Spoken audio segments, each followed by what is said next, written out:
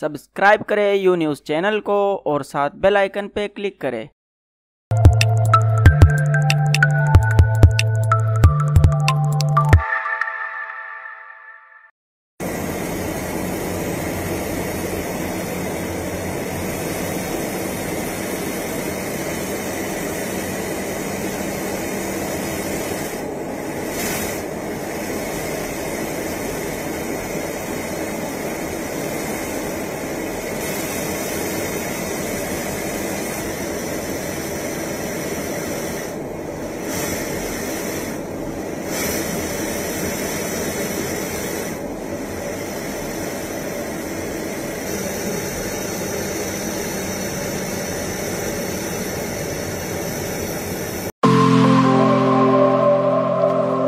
Thank you.